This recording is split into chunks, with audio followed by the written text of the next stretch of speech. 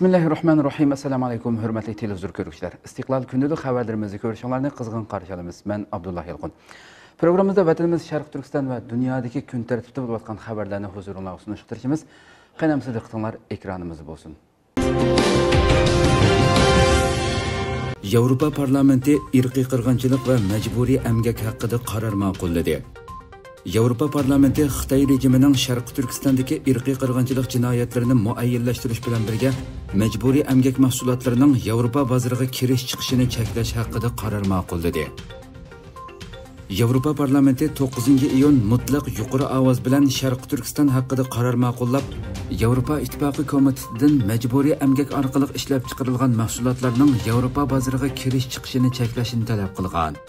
Hamda xitoyning sharqi turkistondagi uyg'ur qatorliq turkiy millatlarga ijro qilayotgan jinoyatlarini insoniyatga qarshi jinoyat va jiddiy irqiy qirg'inchilik xavfi deb bekitgan. Fransiya xalqaro radiosining bu haqdagi xabarda bildirilishicha yevropa parlamenti 9 iyun atigan 503 ovozning qo'llashi 6 ovozning qarshi turishi 4 ovozning voz kechishi bilan yangi savdo qurollari orqali majburiy amgak bilan ishlab chiqarilgan mahsulotlarni cheklash qarorini ma'qullagan. Shu kuni tushdan keyin parlament yana mutlaq yuqori ovoz bilan yangidan oshkorlangan xitoyning soqchi hujjatlari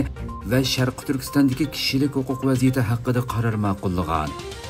Majburiy amgakni cheklash qonun loyihasida yevropa ittifoqi komitetidan majburiy amgak bilan ishlangan barliq mahsulotlarning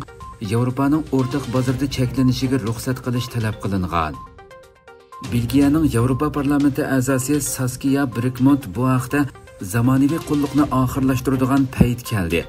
Uyg'ur qatorliq millatlardan tashkil topgan zamonaviy qulluq yoki dunyoning har qaysi joylarida majburiy amgak bilan ishlangan kiyim kechak oyoq yoki mashina qatorliq mahsulotlar amdi yevropa savdogarlarining qo'lida bo'lmasligi kerak degan. U yana amerika va kanadaning bu xil mahsulotlarning import qilinishini cheklash uchun savdo belgilamasi o'rnatganligini shuning bilan birga manfaatdan quruq qilish haqida tahdid soladigan lobbichilik besimiga qarshi tadbir qo'llanganligini ko'rsatib o'tgan. Yevropa parlamenti a'zosi david lega mazkur qaror loyihasining sunug'uvchilaridan biri bo'lib u bu vaqtda to'xtalib aslida bevosita irqiy qirg'inchilik deb atashni o'ylashganligini ammo parlamentda texmi ko'p qo'llashga erishish uchun jiddiy irqiy qirg'inchilik xavfi degan bosqichda to'xtaganligini bildirgan. Istanbulda xalqaro sharqi turkiston muhokama yig'ini ochildi sharqi turkiston ulamolar birligi tarafidan o'tkazilgan xalqaro sharqi turkiston muhokama yig'inining ochilish marosimi 10 iyun istanbulning zaytinburnu rayoniga joylashgan kultur va san'at markazida o'tkazildi uch kun davomlashadigan mazkur yig'inda sharqi turkiston masalasini islom dunyosida kun tartibga keltirish qatorliq muhim masalalar muhokama qilinadigan bo'lib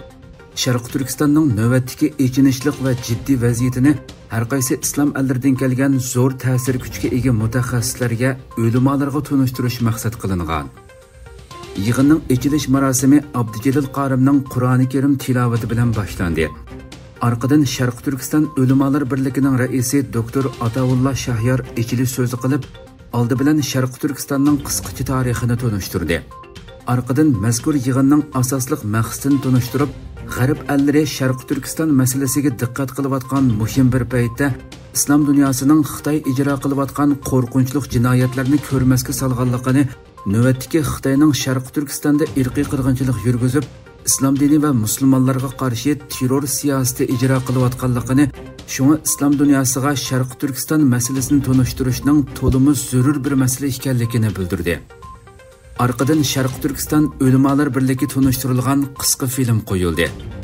Кейін Дүния Мұсылман Алымлар Бірлігі башқа катипі доктор Әли Қарадағы сөз қылып, бірлікке вакалатан Шарқы Түркістан халқыға салам жолдайдығанлығын, Шарқы Түркістан халқының ислам дүниясының бір парчасы екенлігін, Дүния Мұсылман Алымлар Бірлігінің бұл мәселені ислам үмметіге білдірішке тырысып келгенлігін қайт қылып өтті.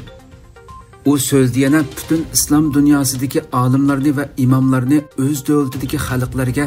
sharqi turkiston masalasini tunishtirishga va xitoyning jinoyatlarini oshkorlashga chaqirdi shundoqla islom dunyosidagi davlat raislariga va rahbarlarga chaqiriq qilib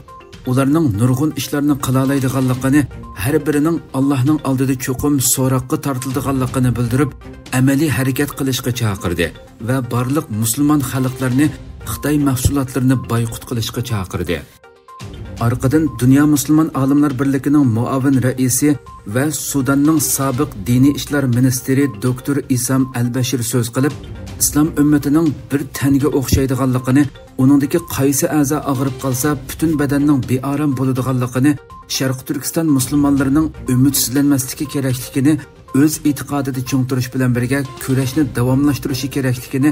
va oxirgi g'albining chuqum musulmonlarga oid ekanligini bildirdi. Orqadan ilm va fikr tadqiqot markazi qurg'uvchisi doktor ihson shanojoq so'z qilib irqiy qirg'inchilikqa uchrayotgan sharqi turkiston masalasini islom dunyosining ko'rmas bo'lib olganligini sharqi turkistonda masjidlarning chiqilayotganligini musulmonlarning iymon e'tiqodi sababli xorlanganligini pat fursatda ishg'oliyatchi xitoylardan intiqom oladigan payt keladiganligini bildirdi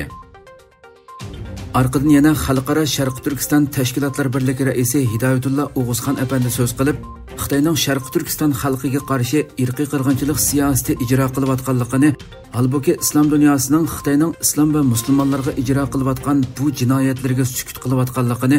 shuning bilan bir vaqtda xitoyning islom dunyosini har xil moddiy manfaatlar bilan aldashga urinayotganligini bildirdi. Keyin malayziya kalantan viloyatining parlament a'zosi doktor abdulla yaqub so'z qilib sharqi turkiston musulmonlarining islom ummatining bir parchasi ekanligini shunglashqa islom hamkorlik tashkiloti qatorliq islom tashkilotlarining sharqi turkiston masalasini hal qilishni avvalgi o'ringa qo'yishi kerakligini bildirdi.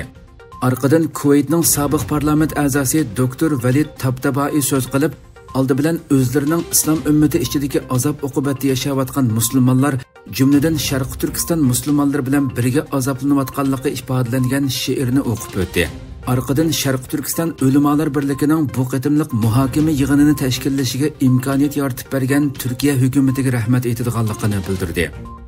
Keyin islom dunyosi ijtimoiy tashkilotlar birligi muavin bosh kotibi ayyub akbal so'z qilib mazkur tashkilotning bir a'zosi bo'lgan sharq turkiston ulamolar birligining bu muhim yig'inni tashkillaganligiga rahmat aytadiganligini sharq turkistonning islom dunyosining bir parchasi ekanligini yaqin kelgusida boshqa islom dunyosidagi musulmon davlatlardek mustaqil bo'ladiganligini bildirdi. Kuvaytning sobiq parlament a'zosi doktor muhammad hayif al matirimu so'z qilib sharq turkistonning islom ummatining bir qismi ekanligini uning besivilingan bir musulmon tuprog'i ekanligini buni barliq islom allari bilishi kerakligini ta'kidladi. Orqadan amerikadan kelgan qonun professori doktor xolid baydummu so'z qilib yevropa ittifoqining oldingi kuni xitoyning sharqi turkistonda sodir qilayotgan jinoyatlarini ig'ir irqiy qirg'inchilik xavfi deb bekitganligini aslida kaskin holda xitoy sharqi turkistonda irqiy qirg'inchilik sodir qildi deb qaror qilishi kerakligini xitoyning sharqi turkistonda uyg'urlarga irqiy qirg'inchilik yurgizib qolmay har xil vositalar bilan chet eldagi uyg'urlarning o'z ahvolini so'zlashini to'sqanligini amaliyotda xitoyning sharqi turkistondagi irqiy qirg'inchilik jinoyatining dunyodagi eng cho'ng islom o'chmanligi islamofobiya ekanligini bildirdi orqadan amerikadagi musulmonlar orasida kuchli ta'sirga ega jamoat arbobi uyg'urlarni qutqizayli harakatining qurg'uvchisi imom abdulmalik mujohid so'z qilib o'zlarining sharqi turkistondagi irqiy qirg'inchilik haqida bir dokulat tayyorlab tarqatganligini sharqi turkiston xalqining kurashni davom qilayotganligini va chuqum g'alba qildiganligini bildirdi. Orqadan islom dunyosida tunilgan mutafakkur doktor abdulkarim bakkar so'z qilib sharqi turkiston va boshqa islom allarida yuz berayotgan qiyinchiliklarning sabablarining biri musulmonlarning ojizligi ekanligini islom dunyosining siyosat va fikr sohasida ko'plab sarxillarni tarbiyalab chiqishga ahamiyat berishini umid qildiganligini hamda sharqi turkiston xalqining bu zulmdan pot yaqinda qutulib chiqishini umid qildiganligini bildirdi. Dunyo musulmon olimlar birligi majlis a'zosi va misrning sobiq diniy ishlar vaziri maslahatchisi doktor muhammad sag'ir so'z qilib uyg'ur musulmonlari islom yo'lida ching tursalar xuddi muhammad alayhissalomga alloh yordam qilganidek uyg'urlarningmi allohning yordamiga erishadiganligini bildirdi. Orqadan hindoneziyalik dangliq olim doktor davud rashid harun so'z qilib o'zlarining hindoneziya musulmonlariga vakolatan bu yig'inga kelganligini islom dunyosidagi eng cho'ng davlatning biri bo'lgan hindoneziyada musulmonlar sonining 230 million ekanligini bu yig'inga indoneziya o'limalarining xitoyga qarshi sharqi turkiston musulmonlari bilan bir safda ekanligini bildirish uchun kelganligini navbatdagi sharqi turkiston masalasining islom dunyosining masalasi ekanligini bildirdi.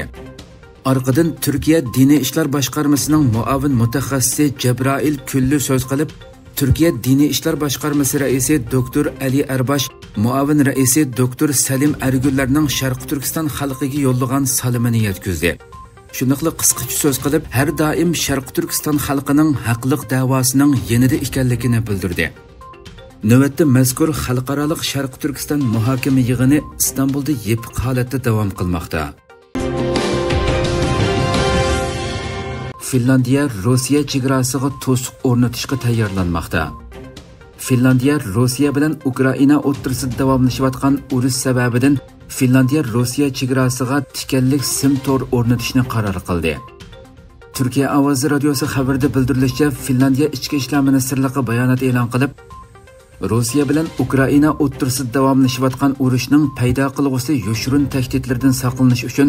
rossiya chegarasidagi bexatarlikning kuchaytirilganligini o'ttirg'a qo'ygan. Finlandiya moskvaning ko'chmanlardan siyosiy besim elementi sifatida foydalanishidan ansirgan bo'lib rossiya bilan bo'lgan 1300 kilometrlik sharqiy chegarasiga texmi mustahkam tikanlik simlarni o'rnatishning yo'lini ochadigan qonuniy o'zgartishlarning tayyorligini qilmoqda ekan xabarda ilgari surilishicha tikanlik sim o'rnatishga doir qonunning eng qisqa vaqt ichida chiqarilib ijro qilinishi planlanmoqda ekan navbatda rossiyaga qaratilgan jazolar davomlashayotgan bo'lib amerika prezidenti jo bayden bilan kanada bosh ministri jastin trudo rossiyaga qaratilgan embargolar va ukrainaga berilayotgan yordamlarni davomlashtirish to'g'riliq signal bergan hurmatli televizor ko'ruvchilar shuna qilib bugungi xabarimiz mushu yerda oxirlashdi. Atigi xabarimizni ko'rishgacha sizlarni janobiy allohga topshiramiz. Shunaqa programma oxirida ekran orqasidagi barliq xizmatdoshlarimga ko'pdan ko'p rahmat aytaman. Assalomu alaykum va rahmatulloh.